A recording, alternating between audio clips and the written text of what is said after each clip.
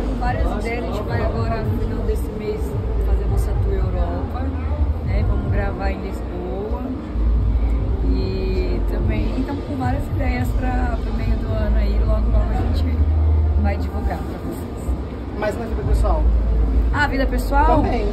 Ah, eu, eu, só, eu, eu queria só casar e, e ter um filho esse ano, mas não sei se tá muito em cima, mas quem sabe. Tem no, nove meses de gestação, né? É, ainda São 12 dá. meses é, no ano. Isso aí, toca aí, vai dar certo. Ainda temos esse ano.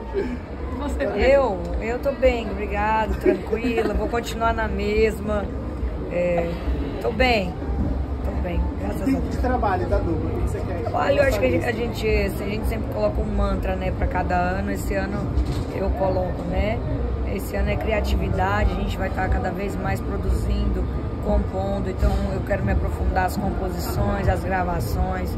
Já começa, tanto é que assim, já começa esse janeiro gravando um DVD novo lá em Portugal, um total, uma versão totalmente diferente, que é orquestrado. Então a gente uma dupla feminina, sertaneja, gravando orquestrado lá no Campo Pequeno, em Lisboa. Já é uma coisa assim, já a gente já começa no ano a todo vapor. Qual?